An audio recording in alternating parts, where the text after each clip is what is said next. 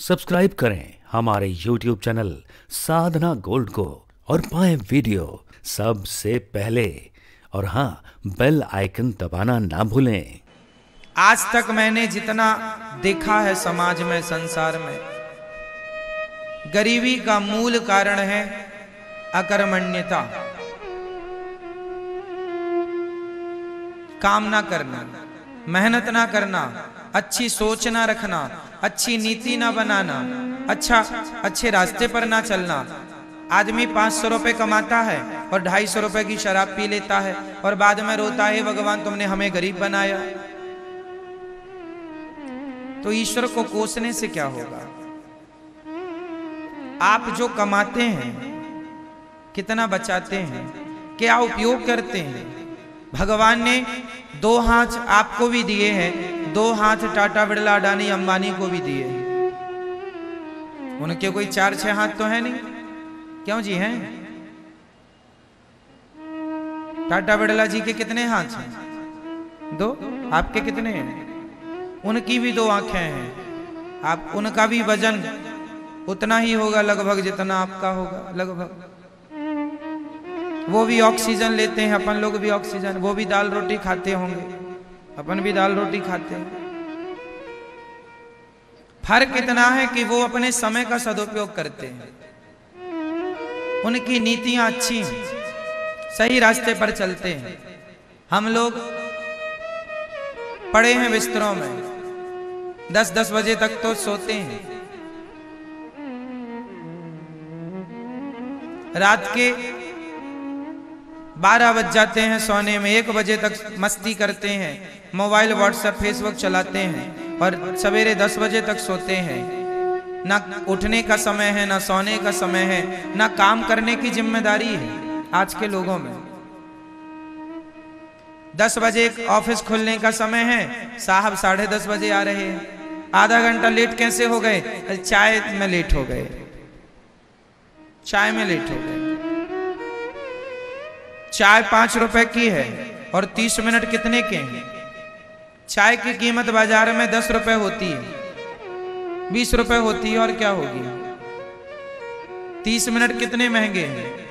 बताओ, तीस मिनट, चलो, पंद्रह मिनट कीमती है या एक कप चाय कीमती है? हमारे देश में ऐसे कितने लोग मिल जाएँगे जो एक कप चाय के लिए अपना पंद्रह मिनट बिगाड़ देते हैं? हाँ या ना? सही है ये बात? हमारे देश में ऐसे कितने लोग हैं जो एक कप चाय के लिए कितने मिनट बिगाड़ देते हैं? पंद्रह मिनट, बीस मिनट।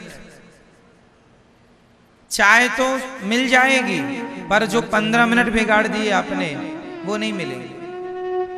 क्या निष्कर्ष निकला कि हमारे देश में समय की वैल्यू नहीं है? कुछ लोगों के पास समय की वैल्यू नहीं है। काश समय को महत्व दिया होता।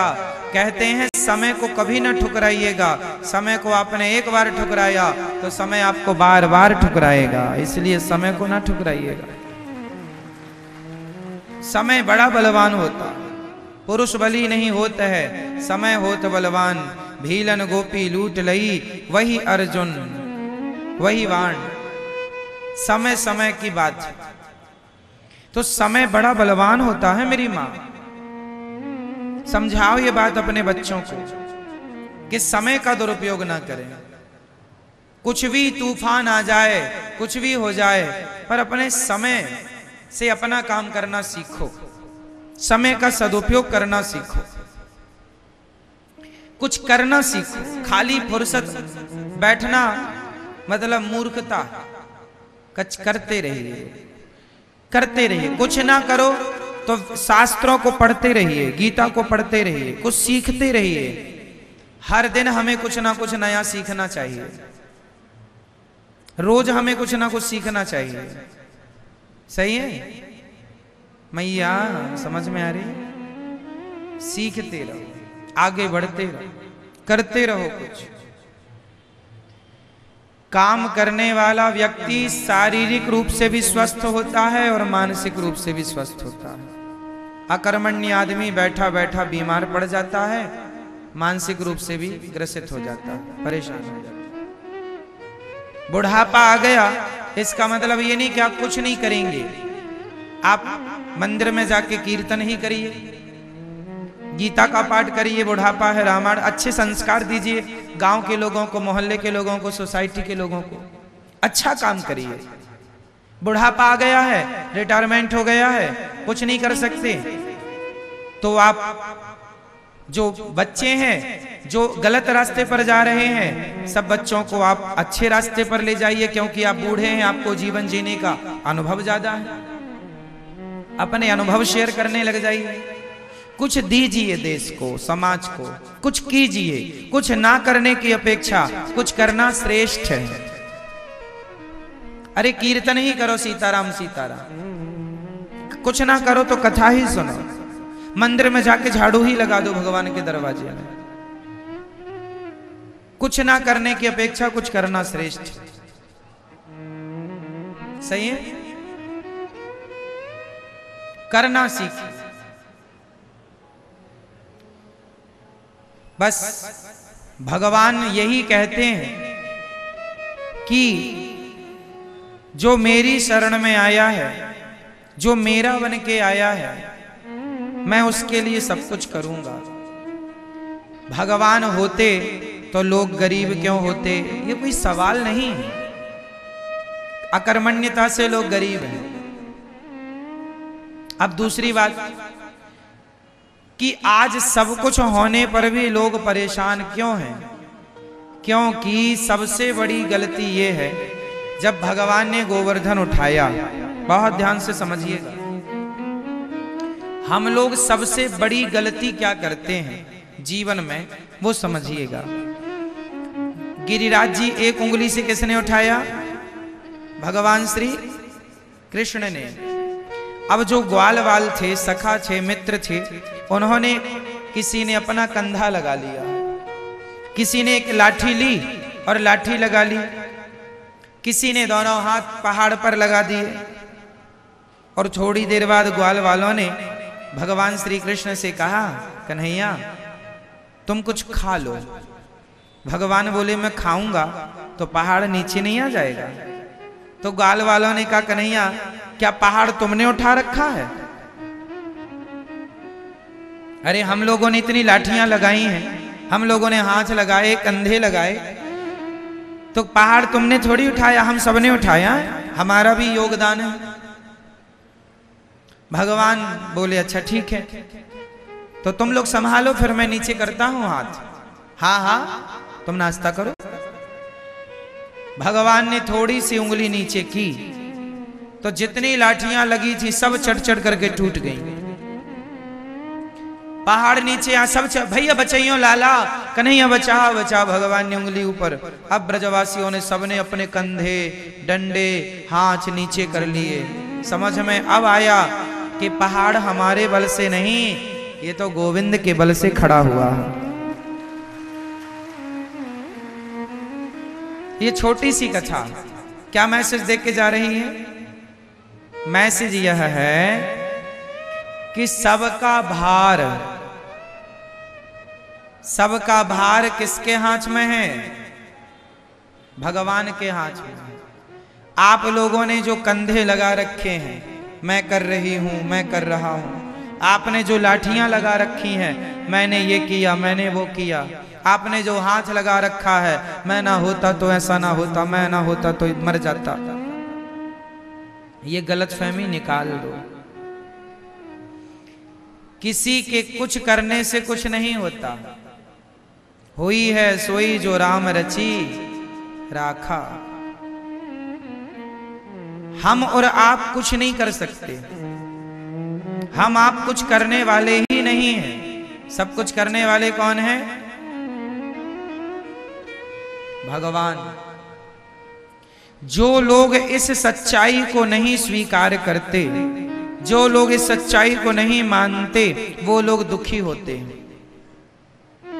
जो हो रहा है, वह भगवान की इच्छा से हो रहा। है जो हुआ था, वह भी भगवान की इच्छा से हुआ था। जो होगा, वह भी भगवान की इच्छा से होगा। अच्छा आप क्या कर सकते हैं बताइए? आप में से ऐसे कितने लोग हैं? हम सबसे सवाल कर रहे हैं, बताइए। आपके पास कितना पावर है? आप क्या कर सकते हैं? क्या आप दिन को रात बना सकते हैं? क्या आप नदी को समुद्र बना सकते हैं? क्या आप बूढ़े को जवान बना सकते हैं? क्या जवान को बूढ़ा बना सकते हैं? क्या आप चाह कर भी अपनी कमर का दर्द मिटा सकते हैं? दवाई ही तो खा सकते हैं। अच्छा इलाज ही तो करा सकते हैं। वो इलाज के बाद भी दर्द दर्द जाएगा या नहीं, ये आपके हाथ में? आपके हाथ में होता तो दर्द ही ना होता। किसान खेत में बीज ही तो बो सकता है। कितने कुंटल फ़सल आएगी? किसके हाथ में? क्या है? आपकी बेटी का विवाह कब होगा? ये आपके हाथ में है? आपकी बहू के बेटा ही होगा या बेटी ही होगी? ये आपके हाथ में है? बोलो मेरी माँ। फिर क्या आपके हाथ में? आपको कितना लाभ होगा, कितनी हानि होगी, ये आपके हाथ में है? इसलिए बिंदास आनंद पूर्वक ज़िंदगी जीना सीखो। टेंशन लेके मरो मत, घबराओ मत। जो कष्ट आए, संकट आए, फेस करते चलो। उस सिचुएशन को हैंडल करते चलो। घबराओ मत, डरो मत, क्योंकि जो हो रहा है, कहीं ना कहीं भगवत इच्छा है। इसलिए हर हाल में प्रसन्न रहना सीखिए। आपके हाथ में, हमारे हाथ में कुछ नहीं है। इसलिए जब कुछ है ही नहीं तो हम किसी बात की टेंशन लें क्यों? बेटी का विवाह कब होगा? जब समय आप कर्म, इसका अर्थ ये नहीं है कि आप कर्म ना करें। कर्म करते रहिए, प्रयास करते रहिए, बेटी का विवाह जब होगा, हो जाएगा। आप अच्छा लड़का ढूंढते रहिए। टेंशन नहीं लेना। अरे महाराज जी लड़का नहीं मिल रहा, घबरा रहे हैं ब्लड प्रेशर हाई हो रहा। ये कोई बात नहीं। शांति से। ये मान के चलिए करता धरता भगवान है, जो करेंगे बिहारी जी अच्छा करेंगे। उनकी इच्छा में अपनी इच्छा मिला देनी चाहिए। कोई एक थप्पड़ भी हमारे गाल पे मारे तो ये मान लेना चाहिए कि ये भी भगवत इच्छा ही। क्या करोगे? भगवान की मर्ज़ी के बिना कुछ नहीं होता। पत्ता भी हिल रहा है तो भगवान की इच्छा से हिल रहा है, ये समझिएगा।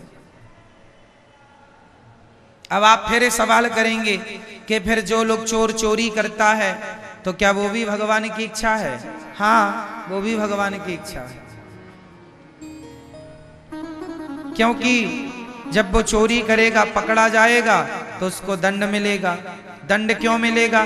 क्योंकि उसके कर्मों के अनुसार उसके भाग्य में दंड का विधान था। तो वो वैसी, जैसी होनी होगी, वैसी करेगा। भगवान बुद्धि, मति, गति वैसी बना देते हैं। जो होना होता है, तब मति, गति भगवान वैसा ही हम और आपको सोच भी नहीं। हम और आप जो सोचते हैं, वह भी कंट्रोल भगवान के हाथ में होता है। हम उतना ही सोच सकते हैं जो भगवान सोचवाएँगे। उतना ही बोल सकते हैं जितना भगवान बुलवाएँगे। उतना ही कर सकते हैं जितना भगवान करवाएँगे, क्योंकि हम कठपुतली हैं। सब ही नचावत राम गुसाई। आज का आदमी व्यर्थ में टेंशन लेता है, व्यर्थ में परेशान होता है। ये ज़िंदगी परेशान होने के लिए नहीं मिली, ये ज़िंदगी मस्त होकर के जीवन जीने के लिए मिली है। खूब बिंदास जियो, आनंद से जियो, प्रसन्न चित्त से जियो। जो हो रहा है, उसे भगवत इच्छा मानकर चलते रहे आनंद के लिए जीवन मिला है दुखी होने के लिए जीवन नहीं मिला कि जरा सा संकट आया, दुखी होने लग गए, रोने लग गए। अरे, जब अच्छा समय आता है आदमी का तो वो ज़्यादा, जब ज़्यादा वो, जब अच्छा समय आता है तो आदमी उस अच्छे समय को एक्सेप्ट करता है, स्वीकार करता है। तो बुरा वक्त आए तो उसे क्यों ना स्वीकार किया जाए? इसलिए हर समय को भगवान की कृपा मानकर, भगवान का प्रसाद मानकर उसे स्वीकार करना चाहिए। तो अब बताओ, आप और हम लोग क्या करते हैं? आप कितने लोगों का पेट भरते हैं? बताओ। मैया, कितने लोगों का पेट भरते हैं आप लोग? दो लोगों का, चार लोगों का, दस लोगों का, बताओ।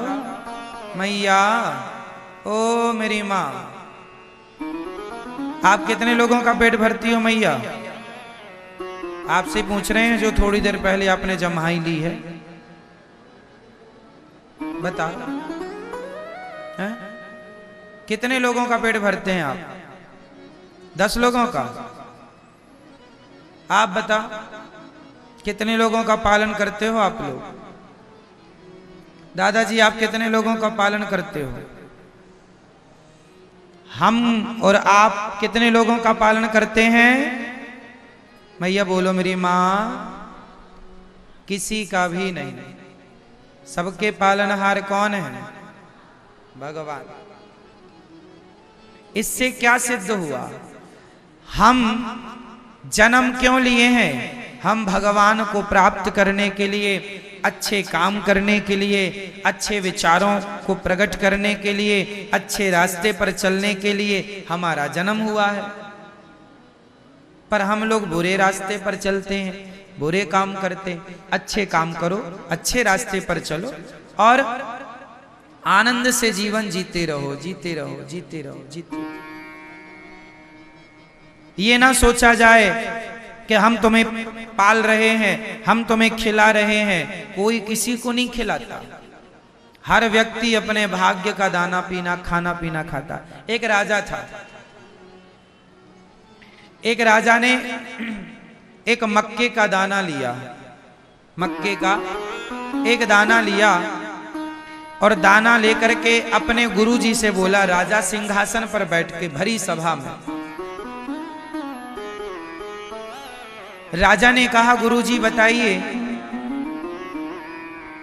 ये जो मक्के का दाना है, यह दाना आप तो सब कुछ जानते हैं। बताइए, यह दाना इस दाने में किसका नाम लिखा है? क्योंकि आप कहते रहते हो, दाने दाने में लिखा है, खाने वाले का नाम। तो राजा ने कहा, गुरुजी, आप सब जानते हैं तो बताओ कि इस दाने में किसका नाम लिखा है गुरुजी, बड़े ज्ञानी थे, सामान्य नहीं थे, त्रिकालज्ञ थे, बड़े उद्घट विद्वान थे, सब कुछ जानते थे। उन्होंने कहा, राजन, इस दाने में वो कबूतर बैठा है, उस कबूतर का नाम लिखा है। राजा बड़ी ज़ोर से हंसा, गुरुजी, आज आपकी बात झूठी हो जाएगी। कबूतर खा ही नहीं सकता इससे, क्योंकि ये मेरे हाथ में है। मैं खाऊँगा और मैं खाऊँगा। तो आपकी बात झूठी हो जाएगी। राजा बोले, आपकी बात झूठी हो जाएगी आज गुरुजी ने कहा, बेटा, दाने दाने में लिखा है खाने वाले का नाम। यदि इस दाने में उस कबूतर का नाम लिखा है तो वो कबूतर ही खाएगा। राजा ज़ोर से हंसा। और हँसते हँसते उसने दाना अपने मुँह में डाल दिया। जब मुँह में डाला तो वो हंसने के कारण वो दाना जाकर के उसके यहाँ गले में फंस गया। फंस जाता ना, कई बार भोजन हम लोगों के यहाँ। फिर कई बार फिर जल्दी से पानी पीना पड़ता है, खाने के तुरंत बाद तब को लगता है कि हाँ अंदर गया, नहीं, गले में रह जाता। तो राजा हंसने के कारण वो दाना खा लिया और गले में फंस गया। अब फंस गया, वो चिल्लाने लगा, ये वो चिल्लाने लगा। तब क्या हुआ? अचानक उसे छींक आई।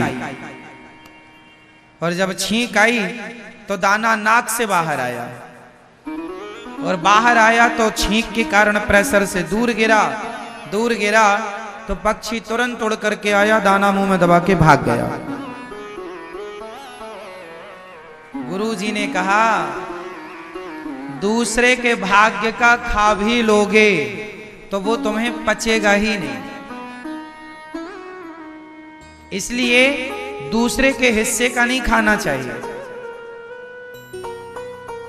जो थाली दूसरे के लिए परोस दी गई है, वो थाली आपको नहीं, अर्थात वो भोजन आपको नहीं करना चाहिए।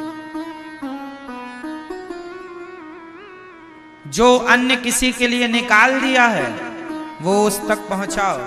वो ना मिले तो गाय को खिला दो, कुत्ते को खिला दो। उसके हक का ना खाओ। जैसे आपने, आपके दरवाजे में कोई भिखारी आया। आपने कहा, रुको, हम आपके लिए कुछ लाते हैं। आप अंदर लेने गए, मुट्ठी भर चावल, कटोरी भर चावल तब तक वो भिखारी चला गया। अब वो कटोरी भर चावल आपने उसके लिए निकाला है। और वो चला गया। अब उस चावल का क्या करेंगे? उस चावल को अब घर में अंदर ले जाके वहाँ मत डाल दो जहाँ से लाए हो। अब वो किसी के हक का निकल गया। वो किसी के नाम से निकल गया। अब क्या करना चाहिए? अब उस चावल को वो चला गया जिसको देना था। तो या फिर किसी दूसरे को दो। कोई दूसरा भिखारी आ जाए तो उसे दे दो, या गाय को दे दो, या कुत्ते को दे दो, या पक्षियों को दे दो। पर उसे आप ना ग्रहण करो। पैसे भी किसी के नाम के निकल गए तो आप उसे दीजिए। अब उससे अपना काम ना करिएगा, क्योंकि हम सब लोग अपने हक का खाएँ, किसी और के हक का ना खाएँ। इसलिए कहा करता हूँ कि हम और आप पालनहार नहीं हैं, हम और आप किसी का पेट भरने वाले नहीं हैं, सबके पालनहार भगवान है। कितना हमारे पास जो धन है, उसमें भी कितनों का नाम लिखा है, ये ईश्वर ने पहले से तय कर रखा है। इसलिए ये दास अनिरुद्ध, ये गौरी गोपाल जी की रसोई में उतने ही लोग आकर प्रसाद पाते हैं, जिन जिन के नाम का यहाँ दाना पानी है। तो ये आपके भाग्य का ही आप लोग खा रहे हैं। ये आप ही खा रहे हैं आपके भाग्य का। इसलिए कोई किसी को नहीं खिलाता, कोई किसी को नहीं देता। भगवान ही सबको देने वाले हैं। इसलिए दाता एक ही है। दाता एक राम, भिखारी सारी दुनिया और राम एक देवता पुजारी सारी। तो मैया पालनहार कौन है? करने कराने वाला कौन है? हम कौन हैं? हम कौन हैं? कुछ भी नहीं। हम कौन हैं? हम शून्य हैं। और राम जी भगवान जी कौन है? अंक। अच्छा बताओ, शून्य बड़ा कि अंक बड़ा? शून्य बड़ा कि अंक? ज़ोर से। अंक। एक दिन शून्य को घमंड आ गया। शून्य ने कहा, अंक से, अरे अंक, तुम तो एक एक चलते हो। हम दस चलते हैं। तुम एक कदम चलते हो, हम दस कदम चलते हैं। तुमसे बड़े हम हैं। तुम्हारी कोई हैसियत नहीं है। अपनी हैसियत में रहा करो अंक से कहा शून्य ने क्योंकि एक के पीछे शून्य लगा देने से क्या हो जाता है? दस। मतलब शून्य संख्या को दस गुना बढ़ा देता। है सही है? दो शून्य लगने से संख्या हो जाती है सौ। तो शून्य जो है संख्या को दस गुना बढ़ाता। है तो शून्य ने कहा, संख्या तुम्हारी कोई वैल्यू नहीं है, क्योंकि तुम एक, दो, तीन, चार चलती हो एक एक कदम। हम सीधा दस कदम चलते हैं। तो अंक बोला, संख्या बोली, शून्य भाई साहब, यदि आप बड़े हैं तो एक काम करो, फिर आप ही बैठो, हम चली। तो शून्य शून्य रह गए पाँच। आगे की संख्या हट गई। पाँच शून्यों की भी वैल्यू तब है, जब सामने संख्या हो। दो शून्यों की भी वैल्यू तब है, जब सामने अंक हो, संख्या हो। अंक नहीं तो शून्य का कोई अस्तित्व नहीं। उसी प्रकार राम नाम एक अंक है, बाकी साधन सून। राम रहे दस गुण है, राम बिना सब सून। भगवान अंक है, हम सब शून्य हैं। यदि शून्य अंक से जुड़ा रहेगा तो शून्य की भी जय जयकार होती रहेगी। यदि शून्य संख्या से हट गया तो शून्य की कोई हैसियत नहीं।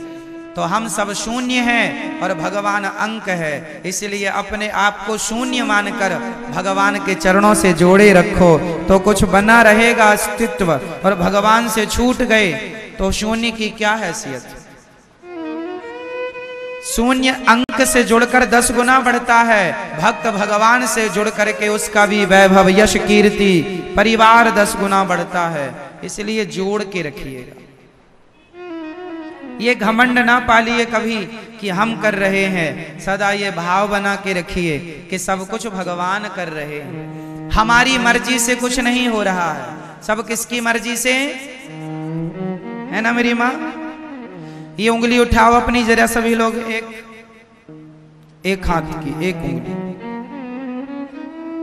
पीछे वाली मेरी माँ, ओ मैया, उठा लो हाथ, एक उंगली अपनी।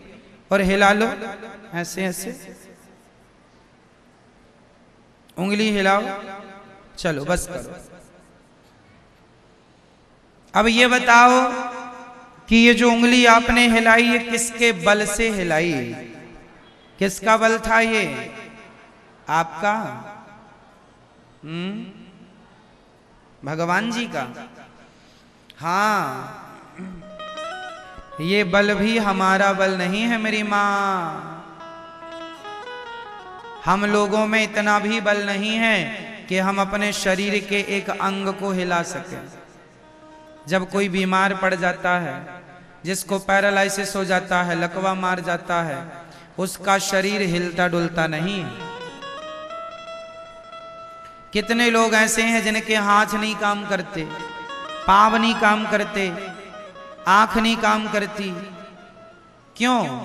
जब तक भगवान चाहेंगे, तब तक वाणी काम करेगी। जब तक भगवान चाहेंगे, आँख काम करेगी। भगवान चाहेंगे तो कान काम करेंगे। भगवान चाहेंगे तो हाथ काम करेंगे। भगवान चाहेंगे तो पाँव काम करेगा। भगवान नहीं चाहेंगे ना तो शरीर होगा। रखे रहो अपना शरीर। कोई पार्ट्स काम ही नहीं करेंगे। जिसे कहते हैं, पैरालाइसिस हो गया। लकवा मार गया। आधा शरीर काम नहीं करता। क्यों नहीं करता? जब तक भगवान की इच्छा है, काम करता है। इच्छा नहीं है, काम नहीं करता। ये शरीर भी तुम्हारे, हमारे हिसाब से नहीं चलता। ये शरीर भी भगवान की मर्ज़ी से चलता। हमारे आपके हाथ में कुछ भी नहीं है मेरी माँ। कुछ भी नहीं। इसलिए व्यर्थ का घमंड ना किया जाए किसी चीज़ का। व्यर्थ का अभिमान ना पाला जाए किसी चीज़ का। माल खजाना को तो छोड़ दो मेरी माँ। ये शरीर भी अपनी संपत्ति नहीं। हम आप सब मरेंगे ना तो ये शरीर भी छोड़ के जाना पड़ेगा। इसका अर्थ यही है कि हम घमंड किसका करें? ये उंगली भी हम अपने बल से नहीं हिला रहे। इसमें भी भगवान की शक्ति है। जो बीमार पड़ जाता है कई बार आप इतने बीमार पड़ जाते हैं कि आपको हाथ पाँव हिलाने की भी हिम्मत नहीं बचती। आप लोग कई बार कहते हैं, हमारी आँख खोलने की हिम्मत नहीं है बीमार पड़ने पर। ऐसा होता है कि नहीं? कि आँख खोलने की भी हिम्मत नहीं है। तो ये जो हिम्मत कह रहे हो आप, ये हिम्मत कहाँ से आ रही है? कौन है ये आँख खोलने की हिम्मत देने वाला? चलने फिरने की हिम्मत देने वाला? तो क्यों हम ये कहें कि ये सब हम कर रहे हैं? हम कौन हैं ये बताओ। हम कौन हैं? कौन है आप? आपका परिचय क्या है? कौन है आप? कुछ भी नहीं है हमारा अस्तित्व। फिर भी हम लोग अपनी डींगे मारते फिरते हैं। हम ये हम वो ना। कुछ नहीं है। हम अभिमान त्याग दो, मिटा दो। जब हमारा शरीर पूरा हो जाता है, जब मृत्यु आती है ना तो हम लोग जल जाते हैं। और जलने के बाद क्या बचती है हमारी? ज़ोर से, सिर्फ़ राख। कितने रुपए के घड़े में आ जाती है? बोलो। हम्म? मैया,